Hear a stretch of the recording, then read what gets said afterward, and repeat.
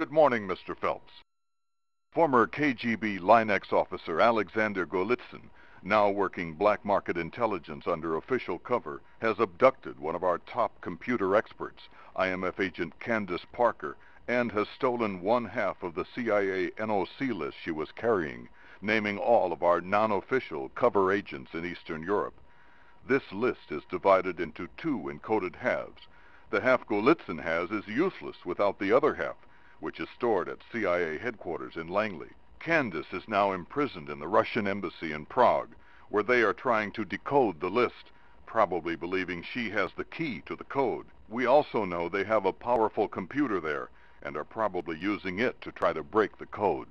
Special Agent Robert Barnes was deployed in disguise to free Candace and make it look like Golitsyn's fault.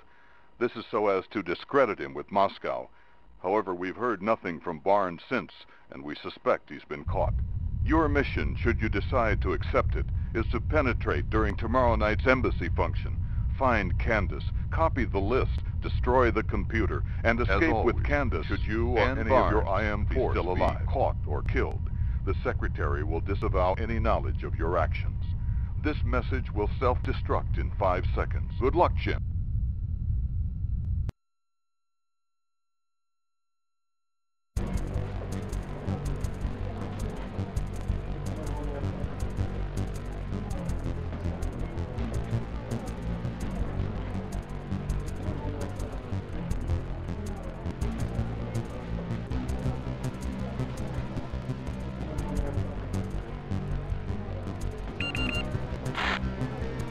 Understood.